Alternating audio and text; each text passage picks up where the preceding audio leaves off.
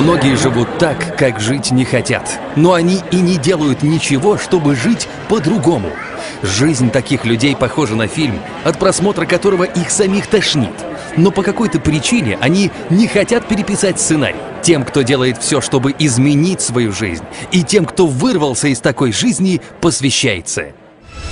На что бы вы были готовы пойти ради своего будущего? Сколько бы вы согласились заплатить или чем пожертвовать, если бы были на 100% уверены, что то, что вам предлагают, полностью изменит вашу жизнь? Сделает ее целостной, комфортной и насыщенной? Сколько у вас уже было возможностей, от которых вы отказались, а потом жалели?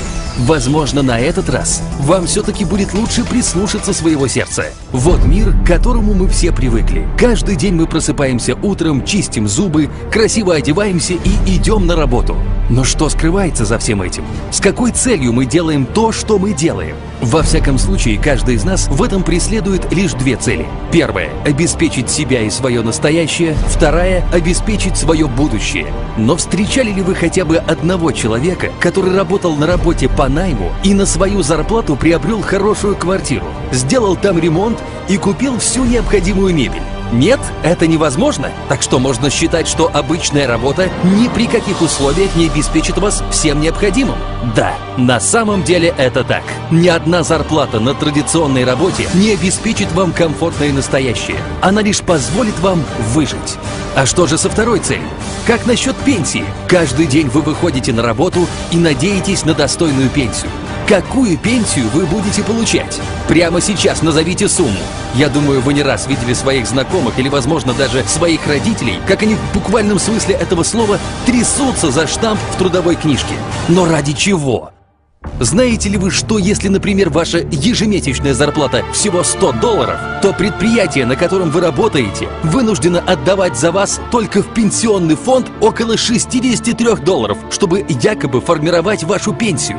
Почему якобы? Давайте представим, что вы работаете с 20 лет и в 55 выходите на пенсию. И каждый месяц вы получаете зарплату всего 100 долларов. Только сделаем маленькую поправку, что те 63 доллара вы отдаете не в пенсионный фонд, а в банк. И всего под 15% годовых. Пусть меня простит правительство, я не призываю людей не платить налоги. Я лишь показываю этим примером эффективность их действий. Итак, с 20 и до 55 лет вы каждый месяц формируете свой собственный пенсионный фонд, но в банке. Когда вам исполнится 55 лет, на вашем счету в банке окажется 860 тысяч долларов. И этой суммы вам хватит, чтобы на протяжении последующих 30 лет выделять себе на пенсию более 2300 долларов в месяц. Внимание, вопрос! А какую пенсию получают те, кто все-таки остался верным трудовой книжке? Возможен ли вариант, что работая на трудовую книжку с зарплатой в 100 долларов, вы достигнете размера пенсии, сравнимого с той, которую мы вам только что показали?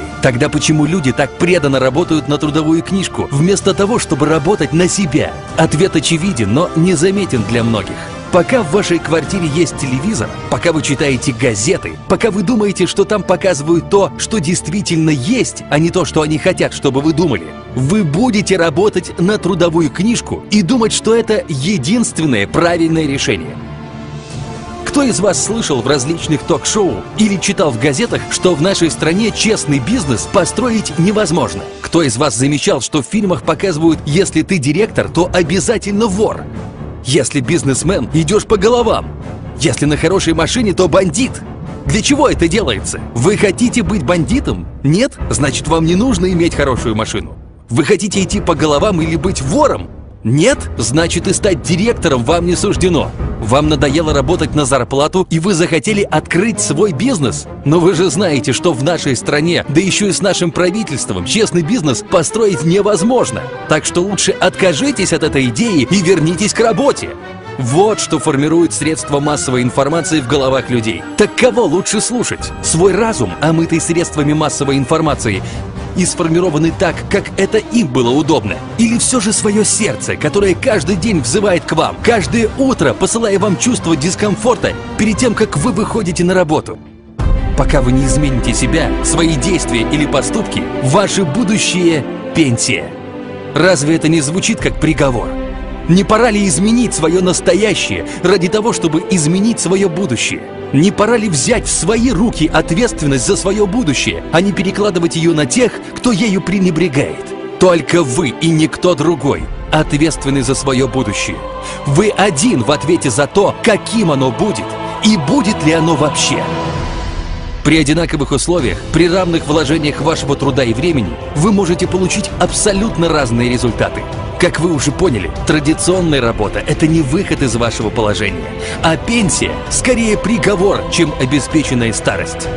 Но есть ли выход? Выход есть. Станьте частью команды людей, которым нравится идея работать ради себя, которым нравится возможность выделять себе свободное время всегда, когда это только необходимо. Идея быть и оставаться свободными.